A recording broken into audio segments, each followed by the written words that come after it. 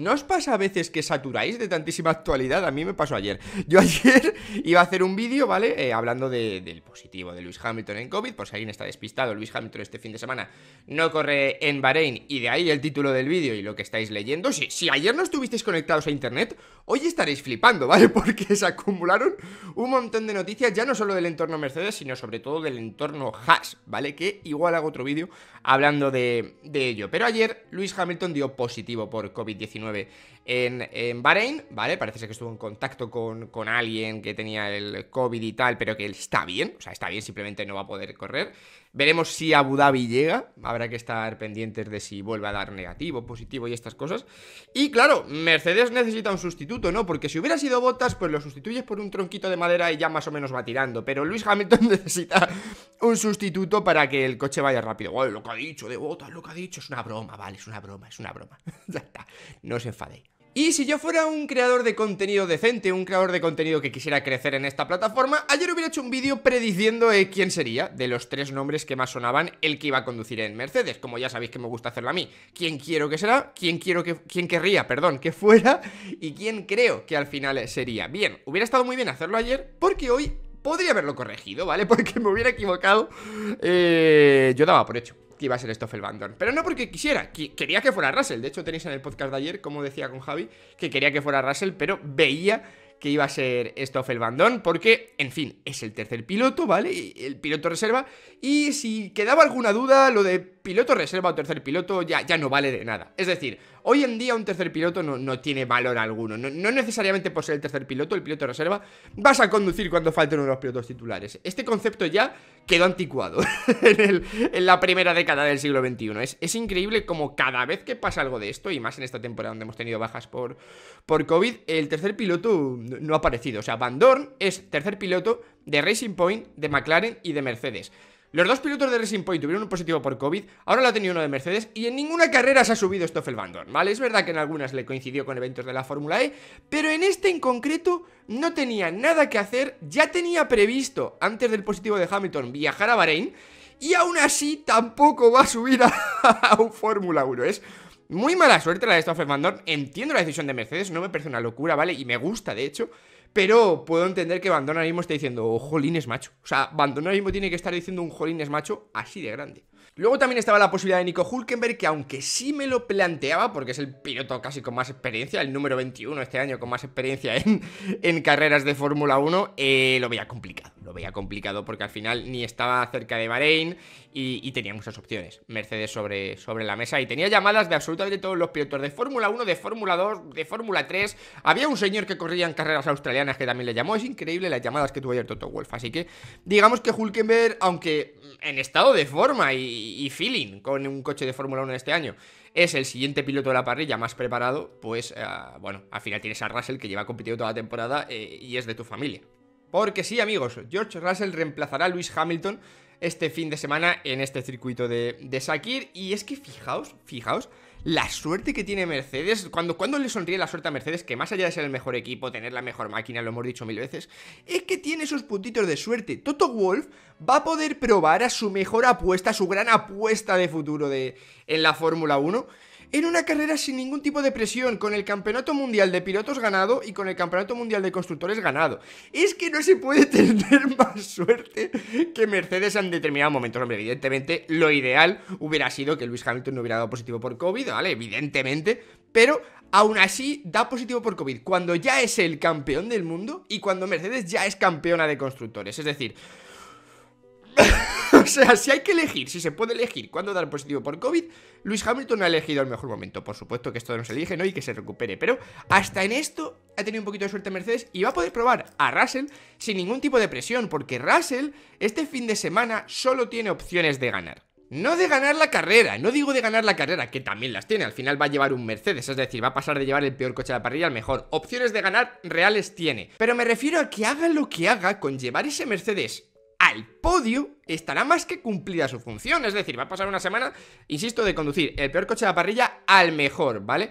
Si queda por detrás de Valtteri Bottas, entra dentro de la normalidad. Es decir, Bottas lleva toda la temporada con Mercedes. Bottas no es un mal piloto, yo no me cansaré de decirlo. Simplemente no es tan bueno como Hamilton, pero no es un mal piloto. Bottas ha ganado carreras a Luis Hamilton y no es una locura que Bottas pueda ganar a Russell. De hecho, entraría dentro de la normalidad, aunque yo piense que George Russell es mejor, porque en una semana es muy difícil adaptarse a un coche. Y adaptarse a las nuevas experiencias que va a vivir George Russell, porque no es lo mismo correr con Williams que con Mercedes. Y no solo por el rendimiento del coche, sino porque hay mecanismos de carrera que no tiene ahora mismo Russell cuando llega a la vuelta 25 y ve una bandera azul, lo que suele hacer su costumbre es apartarse. Y esta vez no, va a tener que esperar a que se aparten los otros coches. Es él el que va a doblar a otros pilotos y hay mecanismos de carrera que no tiene dominados y que tendrá que dominar esta semana y que por supuesto lo hará, ¿eh? no me cabe ningún tipo de duda. Pero lo bueno que tiene Russell es que no tiene presión, ¿vale? Si no queda por delante de botas, lo entenderá todo el mundo. Si no queda en top 3 o top 5, mm, ya peor, ¿vale? Ya peor, porque yo sí espero que mínimo quede en el podio. Sí que es algo que se le debe exigir a Russell. Pero una victoria sería algo con lo que habría que plantearse la otra parte de la ecuación. Y es que a Botas, que iba a tener un final de temporada tranquilo, donde nadie iba a esperar nada de él, porque ya era claramente subcampeón, aunque bueno, entre muchas comillas, porque se le ha acercado Verstappen, a Botas en el peor de los casos solo tenía que perder el segundo puesto, pero ahora puede perder bastante reputación si Russell le gana a Botas este fin de semana, solo tiene opciones de perder. Y esto tampoco es justo, ¿vale? Esto tampoco es justo, sabéis que no soy especialmente fan de botas, pero no es justo que este fin de semana, si gana, va a ser un... Bueno, solo faltaba, ¿no? Si no está Hamilton, solo faltaba, ha ganado a un tío que lleva corriendo toda la temporada en un Williams. Y si queda por detrás de Russell es que no va a tener hueco en toda Finlandia para esconderse, ¿vale? Esto, esto no es justo, o sea, la realidad es que esto no es justo, quiero decir, Valtteri Bottas ha demostrado ya esta temporada que alguna vez en determinadas circunstancias especiales y con una configuración aerodinámica muy adaptada al mismo y sin que tenga ningún tipo de problema en la carrera, puede ganar a, a Lewis Hamilton. Ah, lo normal será que quede por delante de Russell, pero es verdad que si pasa algo un poquito extraño y pierde contra Russell, la reputación de Valtteri Bottas puede bajar bastante. Y luego también es importante una cosita, no creo que este fin de semana, por muy bien que lo haga Russell, la imagen de Lewis Hamilton quede perjudicada. Es decir, mucha gente comenta, ¿no? Que si Russell llega este fin de semana y gana la carrera, eh, igual, eh, igual Hamilton, perdón, tiene problemas para renovar, ¿no? Como que o acepta esto o mira, tenemos un piloto igual de bueno que tú. Yo creo, sinceramente, que si George Russell este fin de semana es capaz de ganar y quedar por delante de botas claramente, el contrato que hay que revisar no es el de Lewis Hamilton, es el de Valtteri Bottas. O sea, es decir, si un piloto que se adapta en un coche una semana, en dos días, eh, es capaz de quedar por delante de tu piloto titular durante tres años y para la temporada que viene confirmado también, igual el contrato que hay que mirar es el de ese segundo piloto, porque con el Mercedes obviamente ganar carreras es prácticamente una obligación. la única desventaja de correr en el mejor equipo de la parrilla es que siempre tienes la presión de ir a ganar cada carrera. Ya está, que ya ves tú, bendita, bendita maldición. ¿eh? Uy, qué problema más grande. Estaría Fernando Alonso molestísimo con esa situación. Obviamente, si corres en Mercedes, pues si quedas tercero o cuarto no es un buen resultado. Y con cualquier otro coche de la parrilla, pues sí lo es. Entonces, si Russell gana la carrera para mí la imagen de Hamilton no queda perjudicada. No, creo que eso signifique, ¿veis cómo con ese coche gana cualquiera? Yo no lo veo así, veo simplemente que es Valtteri Bottas el que no está al nivel del Mercedes y esto nos lo demostraría. Y ojo que no es una locura que Russell pueda ganar a Botas este fin de semana. Aunque mi predicción, ¿vale? Que no lo que yo querría, porque reconozco que me apetecería mucho ver a Russell ganar una carrera, es que Botas quedará por delante. Al final son muchos mecanismos los que va a tener que aprender nuevo George Russell.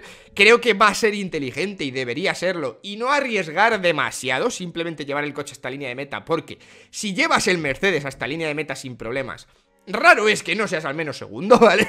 Es, algo... Oye, es que Mercedes tiene esa ventaja, ¿vale? Y si aguantas con el coche bien, sin problemas, sin meterte en líos con nadie, una carrera normal, mínimo eres segundo. Porque Verstappen sí te puede meter el coche por delante, pero es que tiene más ritmo el Mercedes en prácticamente todos los circuitos. Así que si Russell es inteligente en gestión de carrera, podrá quedar al menos segundo. Pero también conocemos a George Russell, es un piloto muy agresivo, es un piloto que este año en clasificación nos ha sorprendido a todos, es espectacular lo que hace, tiene una racha de 36-0 desde que debutó en la Fórmula 1 contra compañeros de equipo en clasificación, pero en carrera es verdad que a veces no ha sabido darse cuenta de que llevaban Williams y se metía en batallas que no le correspondían. Ahora con el Mercedes esas batallas las va a ganar todas, así que veremos si apuesta por eso, que a mí me gustaría, desde luego, el espectáculo. O sea, yo quiero que si Russell va detrás de botas en un momento, le ataque. Evidentemente, quiero disfrutar del espectáculo.